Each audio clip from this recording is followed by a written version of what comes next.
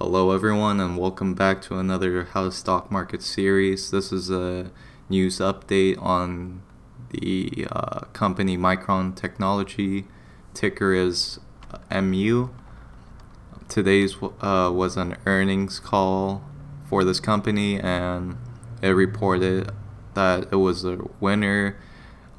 Um, sales and profits estimated to be increased by 10% with this company.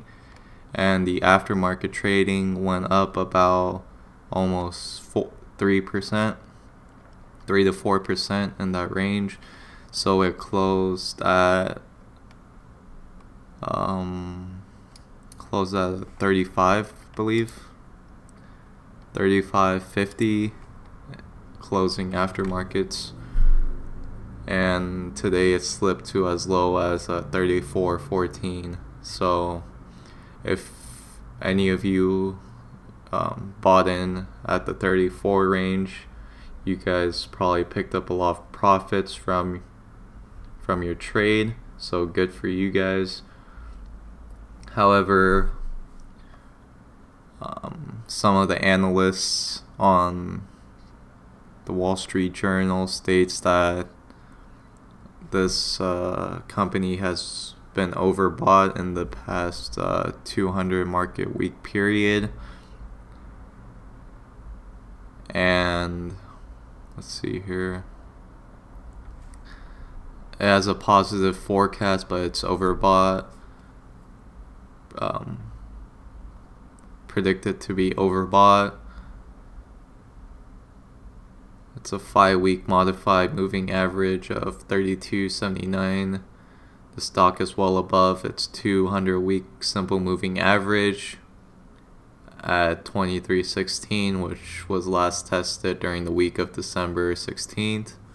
So, about a year ago, it was testing in the $20 range. Now it's all the way up more than $10 a share, almost increased by um, 15% almost 20 15 to 20% so their investment strategy is to buy weakness to annual pivot of $29.80 per share which has been the magnet since the uh, week of March 24th but it crossed during the week of September 1st Given a new high, investors should reduce holdings on strength to uh, monthly risky levels of 39.25.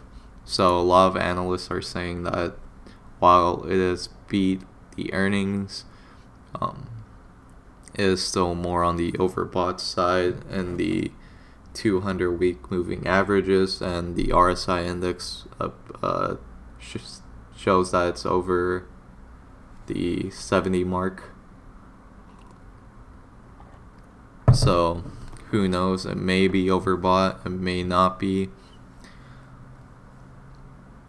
Can't say for certain on whether it is or isn't.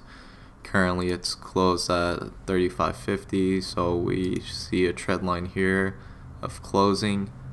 Um, we can see that initially in the previous uh, months and years. It's been trading at around the 35 mark and it's consistently held that level. So, based on this, there is a, a very good likelihood that the stock may, you know, trade within these margins and has about uh, two to three percent you know likelihood of growth and the price per share of this company.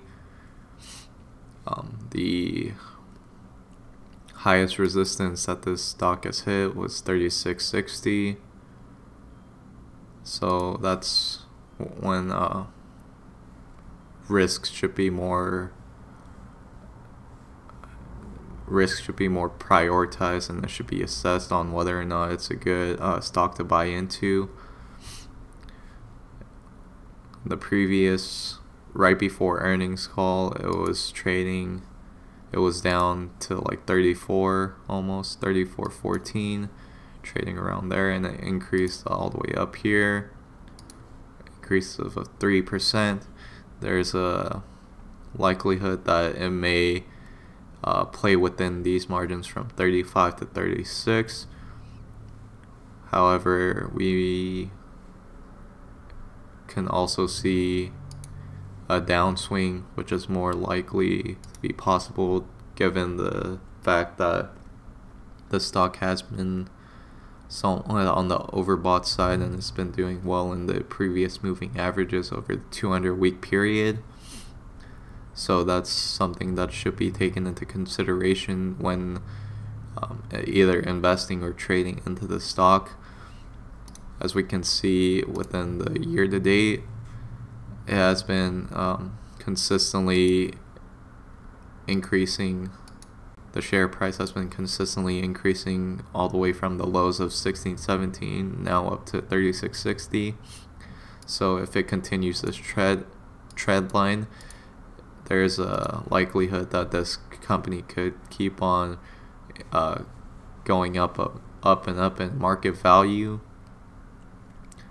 which is a good sign it's currently shows no sign of uh, any anything that should be uh, cautioned for in terms of selling the stock. So recently though it's been kind of consolidating at this point here around the 30 the low 30s around the 33 range so that should be something to take into consideration that's been hitting consistent uh, support levels at 26 so it may cons- consolidate back to that point. However i can see the uh, support levels going forward to be much higher now. Um, i would say 32 would be a good estimate 32 to 34 and um, just the projection of this company is um, being becoming more and more profitable, especially with the tech industry also expanding and con- constantly innovating their devices, and the fact of the reliance of the chipset companies for other companies as well. So I can see a bright, pretty good future going forwards. Over the five year window, however, it did take a quite quite a dip. And only now it, is it coming back to its initial um, uh, initial resistance line uh, from 2014 so that's so right now they basically uh, are playing or bouncing back up to their initial resistance levels in the 2015 highs of 36. So right now, I, I'm not going to say that it's impossible for it to break through the uh, the highest uh, support levels, but it does seem like that that would be a quite a difficult task for this company just um, by analyzing the history of this company and how it's been playing in the market. However, in the past uh, past uh, two years or so, it has been consistently upswinging, and if it can continue on this trajectory, I can see a solid, uh, solid uh, business for this company going forward. So right now it's too hard to say. I do see the likelihood of this of the the stock taking a dip and that may provide potential opportunities for swing trading the stock. And yeah. So that is my analysis on the earnings winner on MU personally, I don't know. You guys have to uh, determine for yourself on whether or not it's worth risking your own money for this. But yeah, I am not a financial broker. I am not a analyst or any of that sort. I am just a day trader like you guys. And please um, look at my opinion from different angles. And I'm not saying that this is a stock that should be bought into, nor am I saying this is a stock that should be sold if you're holding it. I am just trying to give my um, give out information on the news releases and what other analysts are saying about the stock. So please trade at your own risk and with your own um, mindset of the company that you are investing or trading into. And with that said, I hope this video helped out some of you.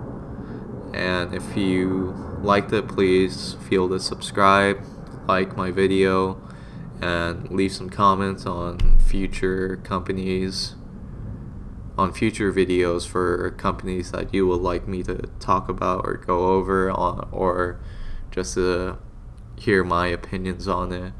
And yeah, thank you for watching and have a great day.